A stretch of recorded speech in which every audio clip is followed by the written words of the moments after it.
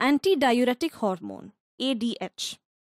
ADH is secreted by the posterior pituitary gland in response to an increase in body fluid osmolarity.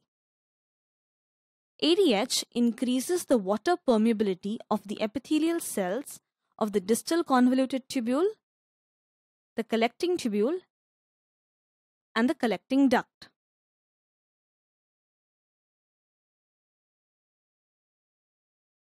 In the absence of ADH, the permeability of these cells to water is almost zero.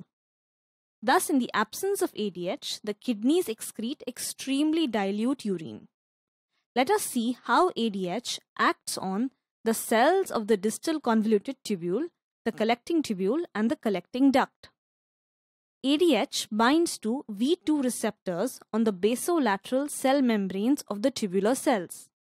Once it binds to the V2 receptors, it increases the formation of cyclic AMP in these cells. This activates protein kinases.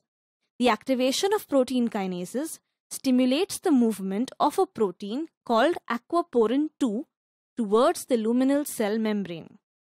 Molecules of aquaporin 2 cluster together to form water channels in the luminal membrane.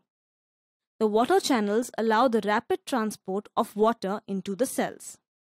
The water then travels from the cells into the interstitium through aquaporin 3 and aquaporin 4 channels which are present on the basolateral membrane of the cells.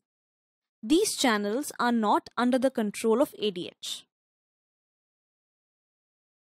In the absence of ADH, aquaporin 2 molecules detach from the luminal membrane and return to the cell cytoplasm once again.